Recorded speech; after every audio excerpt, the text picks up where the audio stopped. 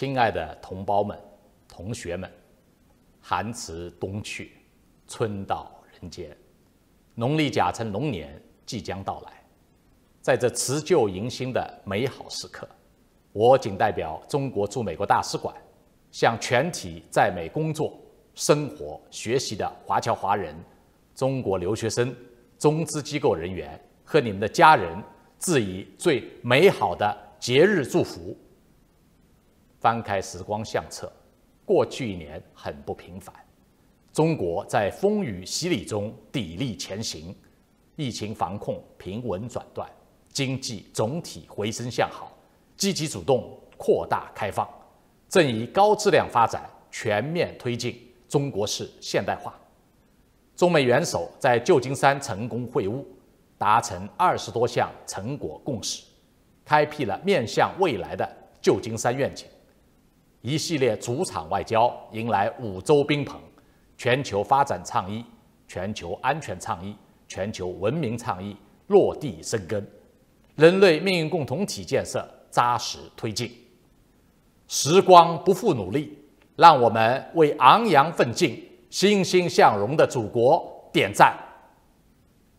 去年五月来美工作后，我见到很多矢志不渝的老朋友。也结识了很多为中美关系鼓于呼的新朋友，从大家身上感受到了中华儿女彼此间的亲情和友爱，对祖国的牵挂和祝愿，对中美关系稳定发展的期盼和支持。大家在美辛勤耕耘，刻苦学习，为当地经济社会发展做出了积极贡献，同时不忘关心支持。祖国发展建设，大力弘扬中华优秀文化，积极搭建交流沟通桥梁。在此，我向大家表示衷心感谢和崇高敬意。